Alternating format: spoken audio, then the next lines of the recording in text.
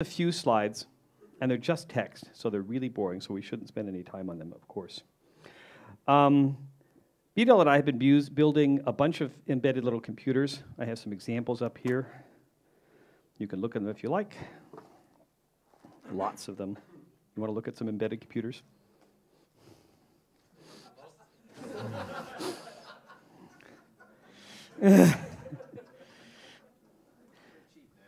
yeah, they're really cheap. Um, here's a computer with the power of the, uh, of the uh, LEM lander when it landed the Apollo on the moon. It cost me 80 cents. yeah. Um, so, what are we building? We're building a bunch of tiny embedded devices. Uh, we're using a bunch of different processors. That one uses a, uh, uh, that one uses a uh, ARM processor, Cortex M3 uh, by STM. Um, I have some more here. I think I flung them all. That use the Cortex M0 processor. Um, they're embedded processors. They are not what what most people think of as an ARM processor. They can't run a telephone. They can barely run a remote control. Um, these devices have very little memory. Uh, the biggest one that we've used in the product is 128 kbytes of flash. Um, they didn't have a file system until a couple of months ago when I decided I was going to build a product with a micro SD card, so I put a fat file system in them. Um, they do not run Linux. We're not ever planning on running anything like Linux. We're not even barely planning on running an operating system. What I want for an embedded ARM development environment is something that looks very much like the GCC AVR system or SDCC, or even, as I learned this week was a good simile, the MinGW environment, where you're building an application on Debian that runs in a completely separate environment. It has nothing to do with Debian as its target. Debian is just the build environment. Uh, the current toolchain that we're using came from the Summon ARM toolchain, was, it's basically a script on top of a bunch of tarballs of upstream snapshots. Uh, so they snapshotted binutils, they snapshotted GCC, they snapshotted um, the GNU loader and the GDB, and they built this uh, shell script that compiled all of them and did a pretty good job of putting together a usable toolchain. This works great on the Cortex M3. It doesn't build uh, correct binaries for the Cortex M0, but it was a really good start. It gave us an idea of what the system was going to be like. Uh, we built a script that takes this tool chain and installs it in slash opt. It's not a Debian package, so we put it in slash opt. And that's what we've been building all of our stuff on. It works fine. Um, more recently, well, in the last year or so, um, Linaro started putting together a uh, snapshots of a Cortex M toolchain um, at this URL here. So you can actually get a Cortex M toolchain here. This one works great on the M3 and the M0, so it's definitely an improvement. Uh, Linaro has been pushing their patches upstream. I don't know, because I haven't had time to look, how many of these patches are still not in upstream GCC. They have a commitment to getting everything upstream. I don't know how, how complete it is. Uh, the other thing that we're using is we're trying to use a tiny C library. And the C library that we're using now is not Newlib, it's PDClib, the public domain C library, which is the smallest C library I've seen, and it definitely strives for reuse of code and easy to understand functions. And from a porting perspective, it's awesome. It took me about a couple of hours to get it running in our environment. From a C library implementation perspective, it really kind of sucks. But, well, for instance, the printf code. This is awesome, right? You want to print an integer. Well, the PDC lib code the only integers it can print are 64 bits. So it casts everything to a 64-bit integer and does everything as 64-bit ints. And of course, the actual printing function, well, the simplest to understand integer printing function is recursive. So it's sitting there recursing down the stack with about six 64-bit values being pushed and popped off the stack for every digit that it's going to print. And there's 64-bit numbers. So I got like a couple of kbytes of stack usage out of that on my four kilobytes of RAM processor. And not so, not so good. So libc is really the problem from I don't know what libc to use. Um, SDCC and GCC AVR both have a native libc. When you get SDCC or you get libc, uh, GCC AVR, they come with a libc that's kind of suitable for their environments. SDCC in particular has this heavily optimized, lots of assembly code libc uh, that's kind of a marvel of 8051 assembly code horror show, Marvel? Um, for ARM, I don't know what to do. I'm using PDC lib, right now because it was really easy to get it working. It's totally unoptimized. It uses a lot of stack space. It's very small. It's very portable, and I didn't have any trouble getting it working. Uh, the Summon ARM toolchain and the Linaro stuff both use, both use Newlib as their C library. And the trouble that I had with Newlib was it was enormous. It took like kilobytes of space on my embed. Yep.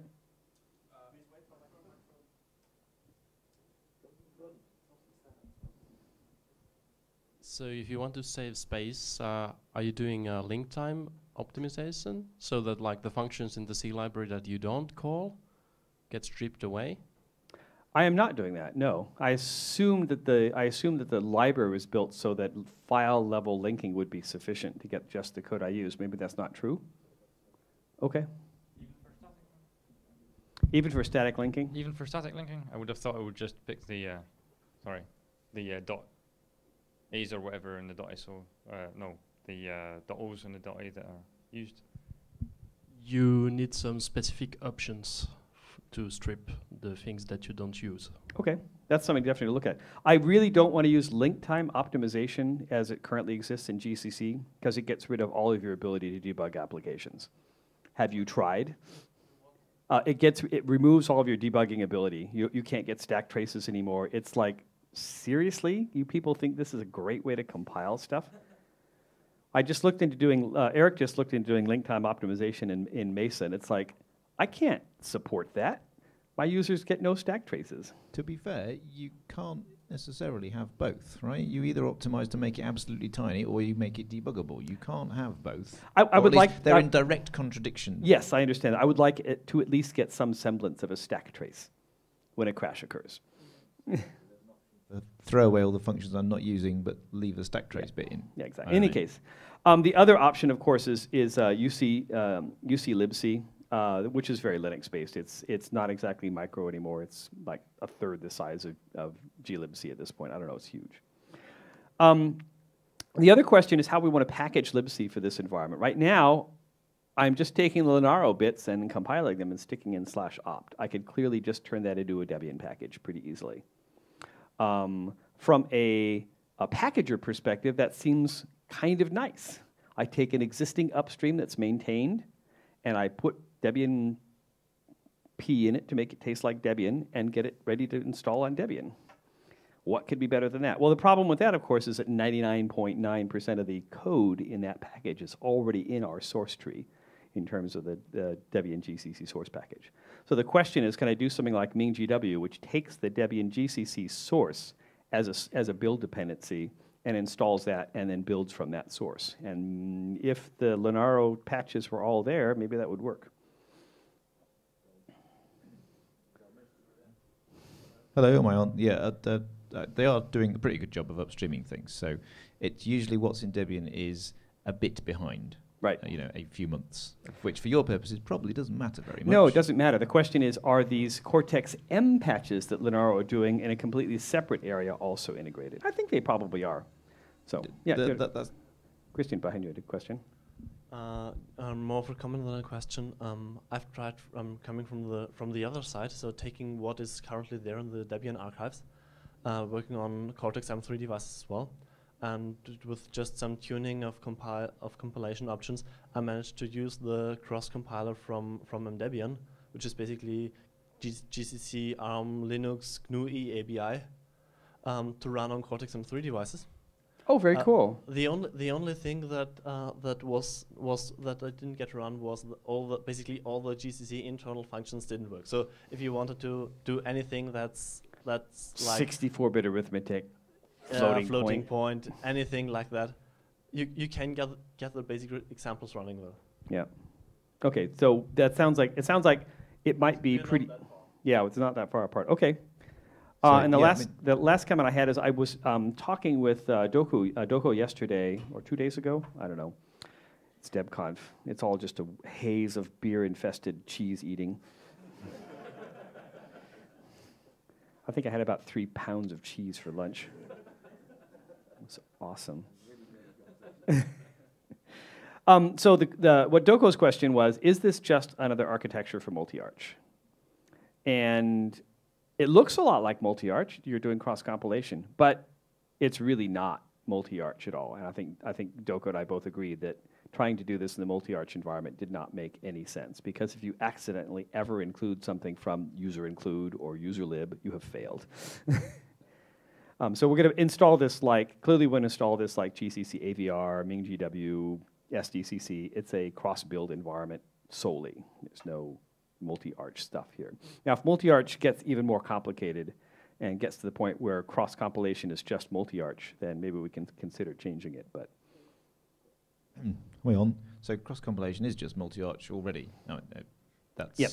Uh, but the problem is C libraries. Right. So uh, the MinGW people have exactly the same problem. Right. They have a non-POSIX C library, Right. and we go, uh, uh, you know, uh, we can fix that. So we can change things so that you don't assume a POSIX C library.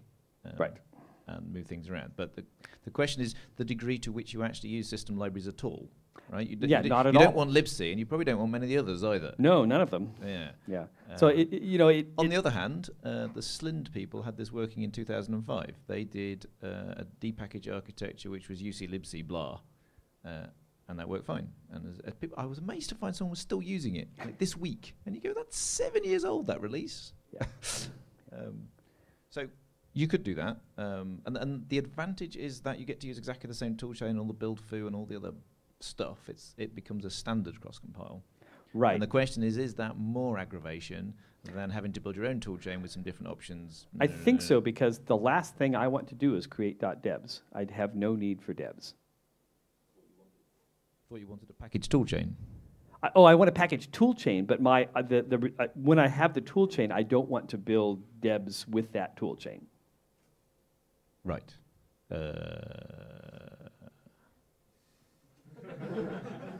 that has very little to do with your toolchain. I mean, toolchains build code, right? Right. Pack- packaging is totally separate. I don't. But I, what I'm saying is, I don't need all the packaging tools on top of the toolchain that help us create. Yeah, but you don't get. I don't need autoconf. I don't need.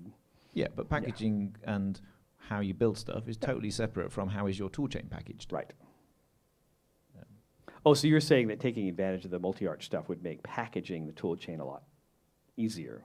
Yeah, and, and all your tools work the same as they did before. For if you did need, you know, if you wanted to, to get a little bit bigger, because this is all M3s tiny right now, right? Yep. But you know, the Oh, I know what the- happens. It, It this used to be 8-bit PIC world, and you're already, now you've got an enormous 32-bit processor, and it won't be long before you've got a 64-bit one. Just watch, and uh, you know, uh, and people go, oh, actually, it would be handy if I could use this little library, and and Right. And so that's, that's why I wanted to hold this BOF largely was to say, you know, we, we're moving from this GCC AVR, SDCC world into a larger ARM world. Does it make sense to continue using their model? And what do you think? Uh, did you actually look at how G- GCC AVR works and is packaged? Because No, I just used it. Yeah, I think it's it puts files everywhere. I mean, it's there's no consistency whatsoever, and so I think that putting this uh, ARM cross compiler in the standard um, framework of multi-arch may be a bit more consistent with the rest of the system. I, th- I, yeah, uh, yeah, it certainly would be more consistent. The question is, do I want to do that, or do I want to just hide it in some directory? I mean, we have a we have a directory, an, uh, a, we have a, a file system specification, and just dumping things into a package-specific directory would be pretty easy. The AVR compiler doesn't respect that specification. Okay, maybe as I not a good example.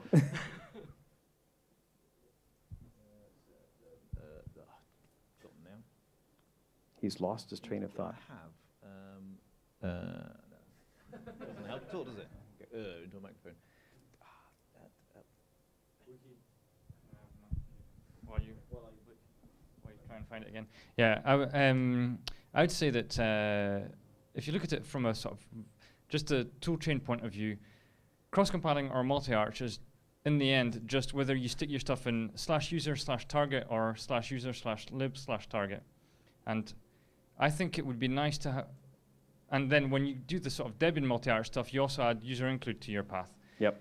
Um, but from a sort of just sort of cons- consistency point of view, it would be nice to just have everything in userlib target. So the multi-arch style, even if your own toolchain doesn't add the user include bit. Uh, plus, the user target stuff isn't actually FHS compliant. No, it, it would clearly go in user share target or user lib target, yeah. yeah, user. Yeah. So that then that's basically just multi-arch minus the user include stuff. Was the someone turned mic off. Um, the you can use sysroot as well as multi-arch, right? So you build the compiler just like all the others, and you can still use dash dash sysroot, put all my stuff in a different bucket. Yep. Um, which may make a lot of sense for this context, just because you're not doing package building, and you're just putting random crap which you want to build against. Uh, you know, you're not necessarily packaging your PDC lib in a conventional way. This is the question: is do we want to do that? Um, so you know, you have just because you use all the standard uh, toolchain building foo doesn't mean you can't also do sysroot building. We have both, and I believe that all works. Uh, but it's not very well tested at this stage because we're all doing distro building, so we Yep. don't use the sysroot stuff. Right.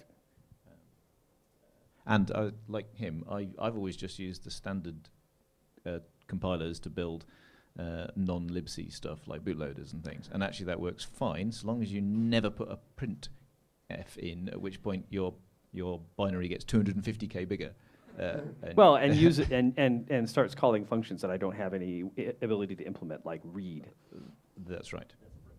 Um, but so you know, it's not difficult. It is nice if you get a bare metal tool. I'm, I'm not sure how much difference it actually makes using a bare metal toolchain versus a nominally built against libc toolchain with just libc turned off. Quite a bit, actually. The, the Nun ABI uh, target in GCC is dramatically different than the than Linux ABI toolchain. And uh, in, in terms of the interface to the internal uh, glib, uh, GCC library itself, for it's completely different. I, I haven't investigated enough to know why it's different or how it's different.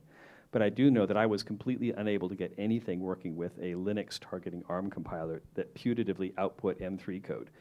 You said you got something working. Uh, yeah, basically the only thing where I got stuck was um, that all the functions in the, in the standard C library uh, were uh, ARM, ARM32 code instead of thumb code. So you, you had a BX instruction, Yep. and then the the the the, the, the Cortex said uh, no way. So if we could, if I think the the mul-? That's So, the stuff in so one of the GCC key issues one. there is that Yeah. you have, anytime you're, you're building things with GCC, you have GCC lib under the hood. And Right, if you have yeah. a compiler which is targeting a Linux glibc architecture, uh, it assumes it knows something about the, the actual hardware you're targeting as well as that it can rely on glibc being present for the final linking. And so you end up with a libgcc, which does not let you do what you think you asked it for if you're using a, a Linux targeted uh, compiler. Yeah, the point is that libgcc is built using some particular code. So as soon as you include any, if you actually link against it, then you get code for Math possibly the wrong thing.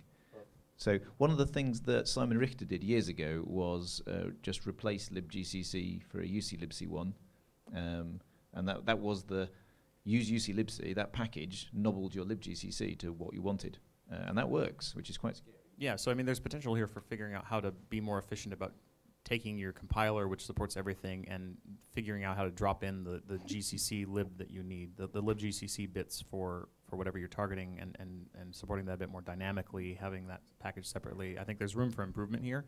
We haven't really gone down that road at all. yeah. I mean, it would actually improve our lives greatly if libgcc wasn't so closely tied to the GCC build because it's, This, it's this actually also in lots of ways. This also ties into like some of the bi-arch problems and why bi-arch remains a, a thorn in our side even in the multi-arch world because it's not it's not sufficient to just take um, y- your your AMD 64 compiler and say, oh well, I want to build for 32-bit unless you also have 32-bit glibc somewhere, and the natively built 32-bit glibc doesn't quite line up in all the right ways, both pathwise and I think some of the contents as the as the one you would get from a, a bi-arch build. So it's there's a lot of complexity there. Um, with regards to multi-arch, I wanted to say though that the thing that makes multi-arch compelling, aside from having a very pretty, um, uh, uh, elegant file system layout, which of course we all know and love, but but that's not really a good reason to, to in in and of itself to change how you're building your compiler. The, the thing that really makes multi-arch compelling is the fact that you do your native build for the library, and then it gives you everything you need to do cross builds, and it, it's the same package on both native and cross, and you're just installing it in different ways, and you are um, you're, you're installing it on a foreign architecture, and you're making use of that as as part of the build environment, but you don't have to rebuild any of your libraries. If you're targeting bare metal, that's less compelling. Right. Yeah, there is, there is no, there is no native environment here. It's just a, a cross environment. Right, and so so from that point of view, it's uh, I'm not sure it's worth the added effort to get your compiler to do multi-arch correctly because I don't know that we actually have all of that entirely upstreamed. Uh, Our, our GCC package putatively does multi-arch correctly. the, the GCC package does, but And I don't so know how much of that is upstream. But if you if you're basing off the GCC package and relying on that as a as a base, then that Right, and the That question is, does our current GCC package have the, have the code necessary to comp- compile Cortex M3 and M0 targets? To compile to, to Right. M3 targets. We just need some way to specify another impl- another compil- compiled form of the of the glib. So I think the uh, the the, arm toolchain thing um, does something like multilib. No, the Summon Arm toolchain doesn't actually have multiple target support. The summon, one of, that was one of the bugs in the Summon ARM toolchain is it, it, you, you hard-coded whether it was an M0 or M3 uh, compiler. And that, they built the whole toolchain for that particular set. The Linaro, the Linaro toolchain does support both. It does have multi-lib support in it. So I was a, so, if, so with the Linaro toolchain, I have separate PD CLib libraries for M0 and M3 because they are different architectures. Uh, I just have a question about this uh, libc problem. I mean, you have PDC lib, you have newlib. I'm not sure you can switch between the two with the same compiler because some bits of the compiler are really um, intricate with the libc. Yeah, I as noticed as I that. know. Uh, in GCC. I, so what I'm doing now is I'm building the tool chain, and the tool chain build uses newlib. And then when I build my application, I just throw away the newlib part and use pdclib, and it seems to work fine. Isn't that linking much less of a problem in a ARM non environment than it is in a? Because I think it's just I think it's just the code that ends up in libgcc that is uh, effectively related to which C library you how we're using for the target environment. And I don't know how what that relationship is. Does anybody know? Uh, it's, it's Other like than being incestuous, yeah. those, those those functions have to be in a particular form. Uh, you know, they've got interfaces to things, and they've got code that they're in.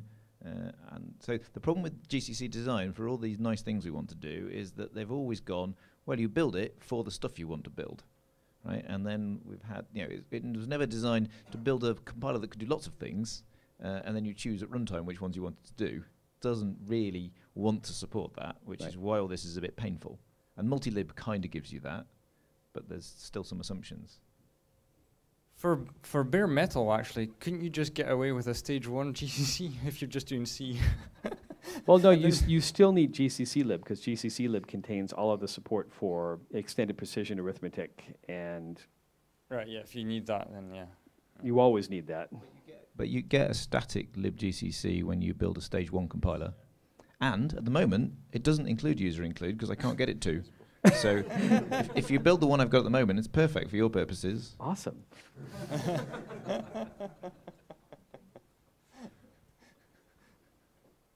so who else is is using uh, M3 or M0 parts or trying to use Debian to do embedded ARM development? And Zumbias as well. Interested in So this there's, there's like there's like a handful of s- full of us. What are you guys using? I know what you're using. You're using the M3, the regular ARM compiler. What are you using? Uh, I use the handmade script that basically does what summon arm toolchain does. So. Okay. Actually, I do use summon arm toolchain because um, there, I can strip the code down to the to a level where it doesn't call anything GCC has previous knowledge of, but Right. that's usually not feasible. Have either of you tried the, the, the Linaro bits? um, no, I've so far only worked from no. Well, let me. Th- I'm I'm not completely sure. And what are you using?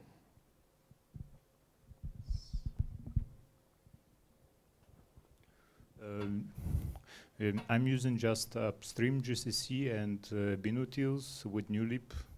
Works fine. Okay, so you're effectively you doing what Summon Arm at toolchain is doing by hand as well? Similar? Well, the Summon Arm toolchain is just a script around upstream. Okay, Same here. okay. Presumably, build uh, build uh, no, sorry, Cross Tools NG supports bare metal as well, which is presumably that that's a more widely recognised script for doing these things than this summon thing that I've never heard of. Right. Well, the uh, my target, I needed the M3 target, and the and the the IDAS NG stuff didn't support it when I was looking at it. Okay. And now that I'm using M0, the summon stuff doesn't support M0, so I'm using the the, the Linaro stuff. So I haven't gone back to look at the NG stuff to see if it's moved moved forward at all. Uh, we've had the, the topic of um, of shipping um, compiled of shipping compiled libraries for for multi for um, for M3 and stuff um, in Debian. I think there's a relatively wide use case now that the now that ARM has opened up its CMSIS library. Uh, there's a um, the, um, for, for, for ARM there's a, um, a base library which abstracts away all the all the gory details of of the the interrupt ca- interrupt calling and stuff. And now this is free software, um, as well as some some vendors um, peripheral libraries. So I think there are use cases for for having precompiled stuff, whether it's in user share ARM or whether it's in in user lib ARM, uh, user lib ARM none whatever. Yep. But I think there are use cases for that because um, what I envision a little is um, what what I'd like for for for Cortex M3 to happen is that I can aptitude install uh, Cortex tools as I do with aptitude install Arduino. Yep. And then just hack away and compile what I actually need and, and upload that. Also, do you want to be able to ship things like uh, libraries for the Cortex tools? So we'd have a, a newlib package for Cortex and a and a PDC lib package. Definitely be nice. Um, I think for many libraries this wouldn't work because they are they just have too much in, in that area too much um, compile time options. Like uh, you can't have a generic build of LWIP. Um, but for, for some of the base stuff, like like CMSIS and mulib, I think that would work.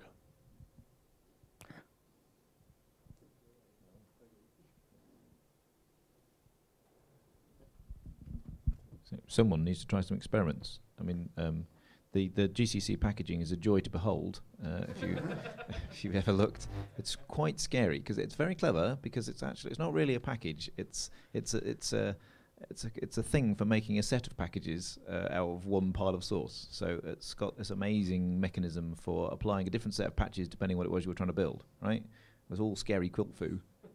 Uh, You're waving your hands a lot here. yeah, it's, it's very good, actually. Uh, I mean, you know, it does mean that you can build almost any C compiler from the, G, the Debian source. And if there's a bit of Linaro patches missing, you just there's already a linaro.diff for you know which previously provides the whole ARM64 thing, um, and now just provides a tiny bit that we're slightly out of date on. Yep. Uh, so if you need M3 patches, you just put in the M3 patches, and then somewhere in, it, there's an awful lot of mechanisms saying what sort of compiler am I building, So the question and is, you just put in a rune for a very stupid one. So the question is, do we push all this off and, and get the GCC maintainers to provide us this compiler, or which would be awesome, of course. No. uh, so the GCC maintainer will complain the moment you suggest this. Uh, well, of course. Uh, but it's he also very won't easy. do it. So if you want to succeed in this, Yeah, it's don't Yeah, expect yeah. him to maintain It- it's this for very easy to just y- depend at the moment on the um, Source GCC package. source package, Yep. uh, just like MinGW does, Okay. and just build it with the right option. So I think w- the the straw man I would like to propose is so currently we, we understand that the bits that are actually different for for building for different um, we have a compiler that's an ARM compiler and we have cross compilers even and, and native compilers both that understand all the various combinations of instructions for the various ARM chips you might be targeting. And the main thing that's that gets in our way is that GCC lib uh, libgcc depends on a, a libc of some kind in some cases. So the straw man I would propose is for somebody to who, who's keen to look at this to figure out how we can improve the packaging and, and not make the packaging even more complex than it already is, but figure out how we can uh, let people use the existing compilers and not have to rebuild their own compiler because you don't really need a new compiler, but solve the problem being able to drop in the the libgcc that you need. And multilib is meant to deal with this, but the problem is that multi-lib requires you to centralize it, declare all your options. You end up with this lovely uh, m by n matrix of, of options in multi-lib that you don't really want to deal with, and the, the the GCC maintainer doesn't want to deal with. But if we could figure out a way to split the libgcc build out, um, we could enable an awful lot of things that then you only have to worry about maintaining that little bit that's actually different, and the compiler. I mean, would this would this be just a different uh, set of GCC compile time options in one of those giant GCC config files? Then Yeah, it's uh, what's the file format called? I I don't remember. spec remember. file is it? Yeah, you just need a GCC spec file, and you need your Just. libc. Those terrify me. Oh, they're quite lovely. They they make great before bed reading. Um, I kid. so Simon Richter has already done this like seven years ago. So we need to go and find the post that says this is what I did to make to replace the spec file and nobble libgcc to make uClibc just just dynamically replace uh, GCC for your compiler. Right? W- it has been shown to work quite a long time ago now, so everything might have changed. But in principle, I think you can do that. Uh, So I could create a new AB, uh, so I could create a new ABI target ARM none EABI using the existing ARM compiler, which is apparently not ABI specific now. The compiler that we, we have in the archive knows about all the ARM ABIs, so it, it can build for any of them. Yeah, we have, we would have to recompile it though. No, no. The you just do dash m whichever one. Don't you? Wookie? I think so. Back if, me up if here. You, if you nobbled your specs file and your libgcc correctly, yes. Right. So if you that's have the spec file that tells it what you actually want for for you know as far as like details of the spec file it covers memory maps and everything else and, and how you assemble it lots of linker specific stuff. I, but I- in terms of knowing the ABI any any ARM compiler that we have in the archive knows about all subsets of that as far as I know. And there may have been bugs with like the M3 stuff or the M0 stuff that you're yeah, the targeting, but- M0 was the, the, the quite quite the surprising thing was that the uh, that GCC didn't gain credible M0 support till more recently. Right, but in terms of in terms of like when we build our ARM compilers, it has support for an awful lot of targets, and they're just dash M targets, just like our x86 compiler knows to target 386, Yep. 486, et cetera, et cetera, et cetera. Same thing on ARM. It's just ARM is a more bountiful environment. That's a nice term. Fragmented, fractured, chaotic, embedded. bountiful. I think we're about done here today. We have about five minutes, if more, a few more comments, and then we'll. Uh, so I guess the question is, I'd like if if anybody has. It sounds like one thing we need to try is to try just building a new spec file that magically uses the existing compiler and see if it works. So I was going to ask about debugging because in the talk outline there's OpenOCD. Oh. Is that still the best thing we have for bare metal debugging? Um, I, I use two tools with ARM right now. Um, uh, STM sells a little device called the ST-Link V2 box. It's a little dongle. Um, and then there's an ST, ST-Link uh, application that talks to that and has a GDB, uh, a GDB target. So you don't have to use OpenOCD. You can use this little ST-Link uh, application, which is significantly smaller. Now, OpenOCD also talks to this device. And I have met, so at this point, I'm using the ST-Link program to do M3 debugging and the OpenOCD program to do M0 debugging because I haven't gotten the other directions working for either. Um, so, the, but this, the ST-Link program is significantly simpler and is not configured through these massive OpenOCD configuration files, but is instead source code, so you can actually debug when it goes wrong, which is really nice. So I don't, and that, that we should probably just package that for the archive. That would be really easy. That's just ST-Link tool. It's it's uh, it's it's a, there's a, a, a GitHub repository or SourceForge. I don't remember which. Okay, that sounds great. Uh, what about the bigger arms? Is there anything for that? Because with OpenOCD, I was really lost. OpenOCD is, is loses everybody because it's got this massive configuration file. You have to get every bit right in. Yeah, I have this example. For example, I couldn't read when the MMU was active. I couldn't find a way to easily read from a uh, physical address in the memory. so I had to somehow call the function that disables the MMU with single stepping, and then I was able to read physical memory. and then And you then re-enabled it- it MMU. Yeah, to do it back. So is there really nothing better tha- than that in Debian for small arms that still run Linux, for example? I don't have any idea. Those are huge arms. It's not OpenOCD's fault that it's hard to read the memory, is it? It's just it's, it's just doing what it gets. Well, the, the the problem the interface. problem with OpenOCD is that it's a well, it's not a problem and a feature of OpenOCD is it's a general very it's a very general purpose It's- tool it- that targets it's everything with scripting. with marvelous config files written in TCL. Which, exactly. a Yeah, bit weird. exactly. Yeah. But um, So you could do it. The fact that you could do it with OpenOCD, clearly it's a flexible tool. But your your uh, your other option is to do like the ST-Link thing did and have a custom application that targets your specific device. And I used ST-Link bef- because OpenOCD didn't have support for the ST-Link V2 dongle. That's Yeah. why I started there. I mean, if OpenOCD, if if support for what you're doing is already in there, it's brilliant. Yep. Yeah, because somebody's already worked out all the tedious runes. Uh, and yeah, I've had to work out tedious runes a few times, and it is quite hard work. But that's the cost of flexible tools, really. Right. So it, it to, to first order, it's probably easier to write a program for OpenOCD to talk to your chip than to write your own program to talk to your chip. So I, th- I think that's what you need to look at OpenOCD is, is a debugging development system instead of a debugging system. We have one minute left. So we, ha- we have at least a simple action plan to go try just building a new spec file. If that, when that fails, um, the other option is to try to use multi. Use, use the existing packaging to just make an ARM none-compiler. Right. Um, and use that. And where would we install that?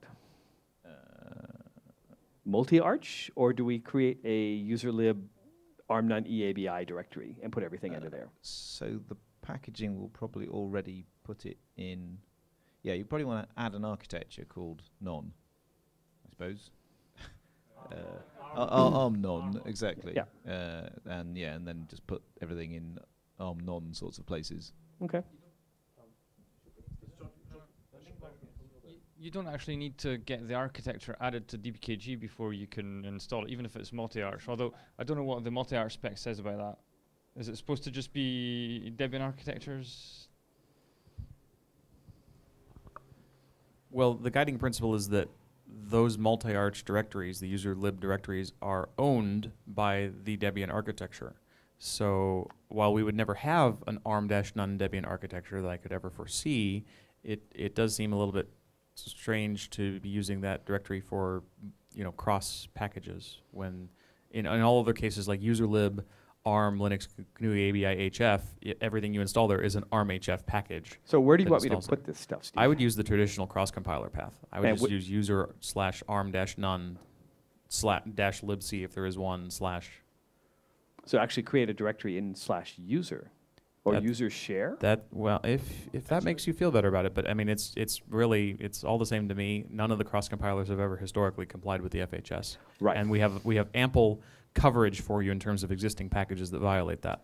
yeah. Where So would you like me to put it? We already put stuff in GCC cross, so um, we should probably just put it. I mean, I don't think that again those those you know, user triplet things are for host architecture stuff, right? Not for stuff that runs on the build the um, the machine you're actually running your compiler on. Um, I think we should put it in the normal kinds of places, and we just pick a name.